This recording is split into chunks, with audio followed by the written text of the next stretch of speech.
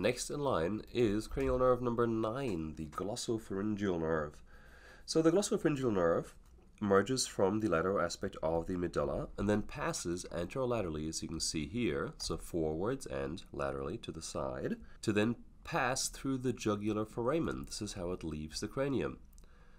It leaves the cranium actually together with cranial nerve 10 and 11 as well. So three nerves or three cranial nerves pass through the jugular foramen. It'll be 9, 10, and 11. So glossopharyngeal, vagus, and accessory.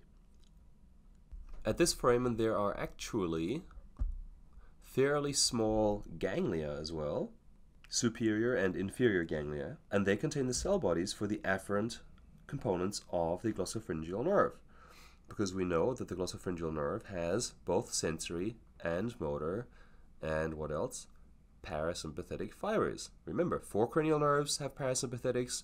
That will be 3, 7, 9, and 10 the glossopharyngeal nerve will actually follow the stylopharyngeus muscle a little bit that we can see here, which is also supplied by this nerve. And then it'll pass between the superior and the middle pharyngeal constrictors. Remember, you have three constrictors or pharyngeal constrictors, and it passes in a gap between the superior and the middle pharyngeal constrictors. And that is the way how it reaches the oropharynx and the tongue. Because as you might recall from the facial nerve earlier, the facial nerve contributes the special sensory fibers to the anterior two thirds of the tongue. Well, that leaves one third of the tongue left over, doesn't it? Well, and that would be the posterior one third.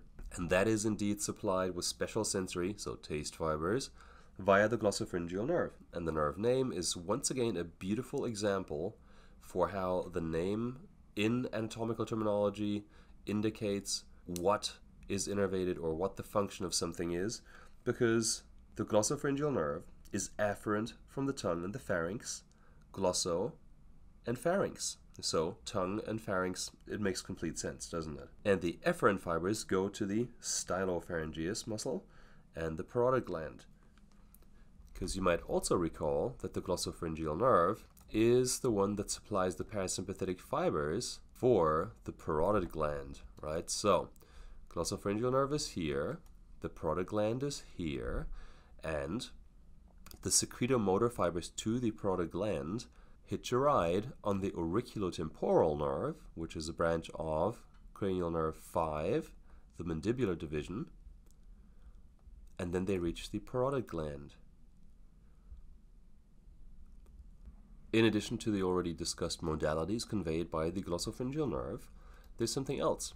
There are fibers that go to the carotid sinus and the carotid body. You may wonder, what is the purpose of this?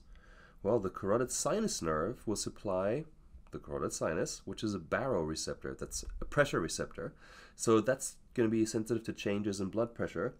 And the carotid body, which is in that case a chemoreceptor, which is sensitive to the blood gas, so oxygen and carbon dioxide levels it's a good place to have it as well because it's right here at the junction of the internal and external carotid artery.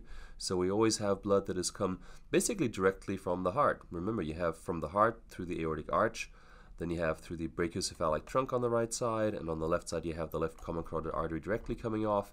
And so this blood has actually not been used up by anything. So this is exactly where we should measure the blood gas uh, without having any of the oxygen used up yet by any of the bodily functions.